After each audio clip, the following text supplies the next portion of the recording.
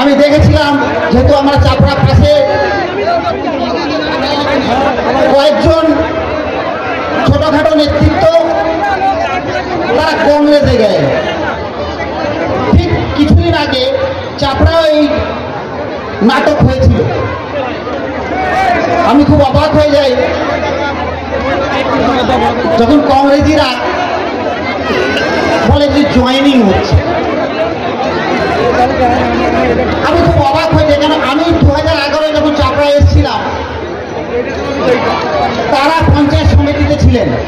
তারাই চালাচ্ছিলেন চাপড়ায় নদিয়ারও অনেক জায়গায় ছিলেন। তারা কি উন্নয়ন করেছেন সেটা একটু জিজ্ঞেস করতে চাই আমি তাদের আর দু হাজার এগারো থেকে মমতা বন্দ্যোপাধ্যায়, তার উন্নয়ন, মামাটি মানুষ এই সরকারের উন্নয়ন, এই শুধু এই সোনাতলা গ্রামে না এই নোয়াপাড়ায় এই অঞ্চলে নেই। সারা চাপড়া সারা কৃষ্ণনগর সারা নদিয়া জেলায় কি হয়েছে সেটা আপনারা জানেন। সাতষট্টিটা প্রকল্প আমার ভাই বাবা বলছিলেন।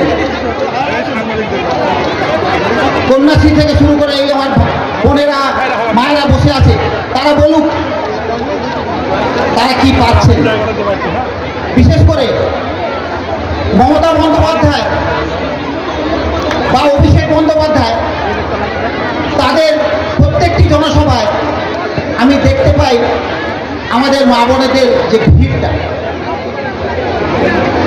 আমি অবাক হয়ে যাই, সিপিএমরা বলছে নাকি ওরা জয়নিং করাচ্ছে। তারা কি সন্ত্রাস করেছে? এই পাশে চাপড়ায় এইখানে নোয়াপাড়ায়, আপনারা সবাই জানেন, তা আমার বলার দরকার নেই। কংগ্রেস আর সিপিএম একজোট হয়ে বিজেপিকে মদত করছে। সে নাকাশিপাড়া বলুন, চাপড়া বলুন কৃষ্ণগর বলুন, কৃষ্ণগঞ্জ বলুন, তারা বিজেপিকে মদত করছে। আমি অবাক হয়ে যাই। তারা আবার উন্নয়নের কথা বলে। আমি বিশেষ করে আমার সংখ্যালঘু ভাইদের বলছি, যারা এই- এই অঞ্চলে কিন্তু অনেক সংখ্যালঘু ভাই বোনেরা আছেন, আপনারা এই ফাঁদে পা দেবেন না।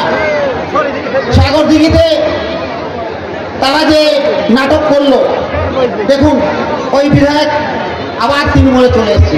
সেখানে সে জানে যে উন্নয়ন তৃণমূল কংগ্রেসের থেকেই হতে আমি আবার বলছি, আমরা বিশেষ করে নদিয়া উত্তর, এই জায়গায় আগামী দু হাজার চব্বিশের লোকসভায় বলুন, পঞ্চায়েত ইলেকশনে বলুন আমাদের প্রত্যেকটি ক্যান্ডিডেট বিপুল বিপুল ভোটে জয়লাভ করবে। এবং আমার এটা দৃঢ় বিশ্বাস, আমরা প্রত্যেকটি জেলা পরিষদ, প্রত্যেকটি পঞ্চায়েত এবং প্রত্যেকটি পঞ্চায়েত সমিতি আমরা দখল করব। তাও কি? আমরা কিন্তু সুন্দরভাবে, সুস্থভাবে ভোট করে করব এটা আমার দৃঢ় বিশ্বাস। এখন মানুষকে বলতে হয় না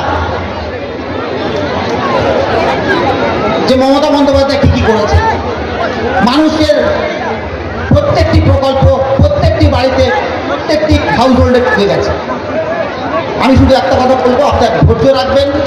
কিছু কিছু জায়গা এই জয়নিং করিয়ে তৃণমূল আর তৃণমূল কংগ্রেসকে বিভ্রান্ত করার চেষ্টা করছে তারা, এই সিপিএম এই কংগ্রেস, এই বিজেপিরা তারা দেখাতে চাইছে মানুষকে যে তারা, তাদের সংখ্যা বাড়ছে। কিন্তু তারা শুধু ওটা যে